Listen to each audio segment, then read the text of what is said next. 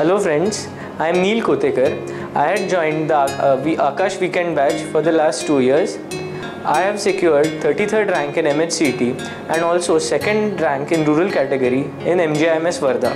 I have also bagged the KVPY scholarship with an All India rank of 288. I owe every bit of my success to my teachers at Aakash uh, they they made me concentrate on concentrate on my studies and made studying an astonishingly interesting task. The classroom lectures were very interactive and involved maximum participation of students. The doubt lectures helped not only in clearing any queries but also uh, helped me to understand the concepts better.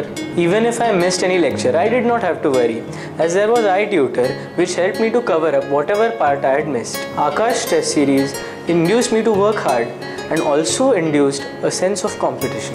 It helped me to rectify my mistakes and also to concentrate on topics in which I wasn't up to the mark.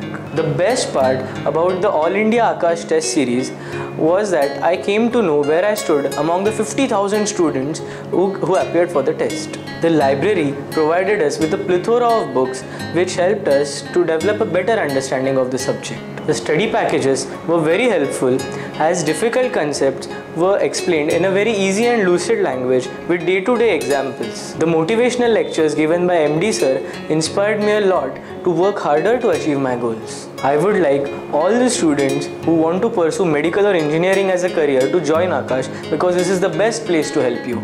Thank you.